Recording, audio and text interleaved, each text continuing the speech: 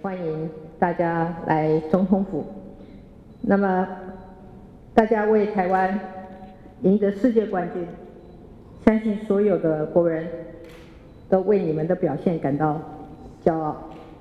那么，大家把平常苦练的技术转化成球场上的精彩的表现，赢得世界第一的荣誉，是值得大家来赞赏。那我们真的也很欢喜。除了拿下冠军之外，各位在比赛的过程中所展现的拼战的精神跟毅力，同样也是你们未来的生涯当中非常宝贵的收获。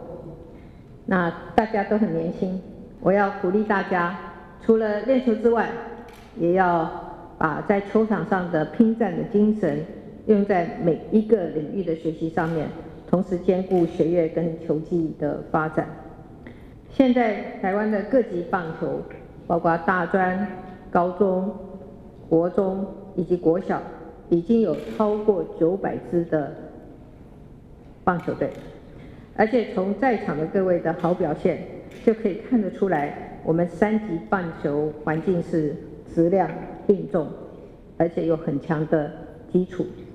那么现在，行政院已经在研议各项的具体的措施。希望能够提升企业参与的意愿，这是我们要未来要强化职棒发展的第一支箭。第二支箭则是要健全职业棒球队的二军的制度。现在各个球场虽然已经有二军，不过比赛的强度跟场次都可以更进步。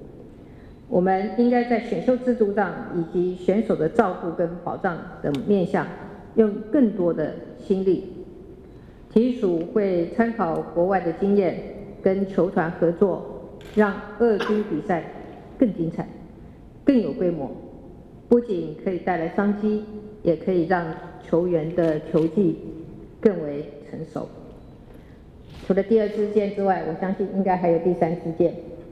那么这第三支箭就是要从硬体做起，让球员有更好、更安全的场地打球。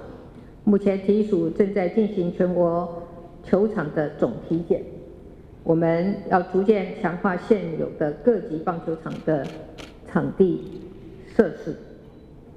最后，我再一次恭喜选手们跟教练们，谢谢你们为台湾争光。我更要跟所有的政府工作同仁说，打造更好的体育环境，接下来就靠我们的努力了。所以我们大家一起加油，谢谢大家。